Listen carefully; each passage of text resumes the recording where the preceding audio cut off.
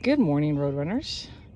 This is Time of Hope number 29. Yes, this one is 29. Last week was actually 28. I just gave you the wrong number. It is such a beautiful Sunday morning, and I pray that your Monday morning will be just an amazing blessing. I want to introduce you to the newest member of our Diaz Alvarez Romero family. This is Twinkie Chili Willy. Yeah, she has a middle name and a last name. And um, disclaimer I am not a pet person. So, how did I get here? How did I get here? Where now I'm up early in the morning walking this creature of God. Well, my my son and his girlfriend uh, asked us if we could keep Chili Willy, and she's being very distracted. Twinkie, look at the camera. There you go. There, there. You guys can see her. Anyway, she was um, in need of a home, and so when we um, accepted to keep her at home, you know, I, I've always been a little reluctant to have pets because they require so much work right? They require a lot of attention.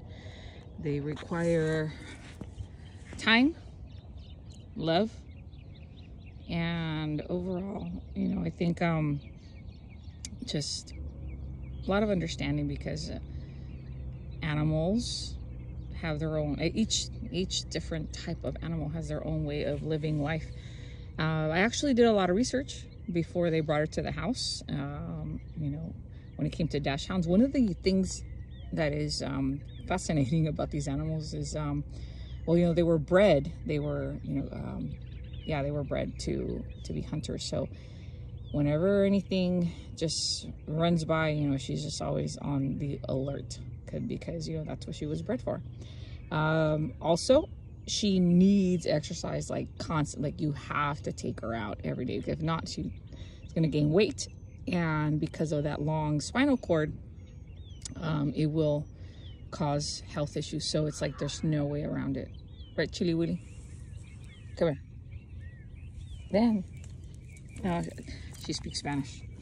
Anyway, um, why did I want to share this moment with you? Because whenever I have the privilege of walking her, one of the things that um, I think about is how God takes care of me. You know, um, in Matthew 10, starting in verse 29, you know, Jesus begins to tell his disciples, hey, don't be afraid. Don't be afraid. Don't stress out. Don't be anxious about anything. And this child is really anxious. I don't know if you can tell it. She's just, because there's another dog out in the distance.